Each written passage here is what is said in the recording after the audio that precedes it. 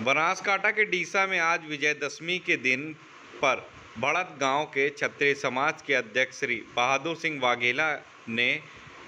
और पूरे क्षत्रिय समाज के युवा एवं डीसा तहसील के गाँव महाअनुभव उपस्थित रहे और शस्त्रों की पूजा विधि विधान से बहादुर सिंह ने की। कहा कि जब देश संकट में आता है, तब हथियारों की ज़रूरत पड़ती है और हथियार बिना जीत नहीं सकते। जब गाय माता की एवं बहन बेटियों को बचाने के लिए हथियार जरूरी है इसलिए आज शस्त्रों का पूजन किया जाता है बनासकांठा डीसा से सोम सिंह वाघेला की रिपोर्ट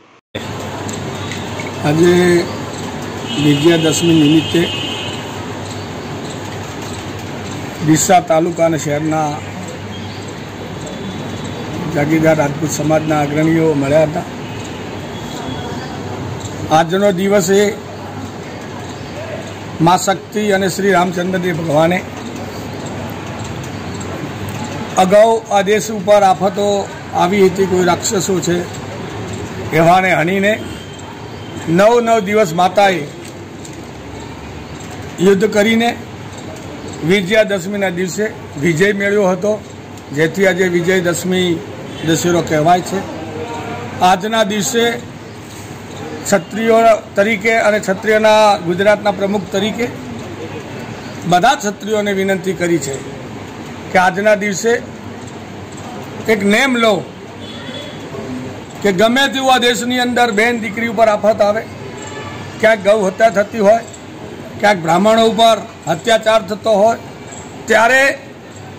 મોત બધાના માટે જન્મ થયો અને આવવાનું છે. પણ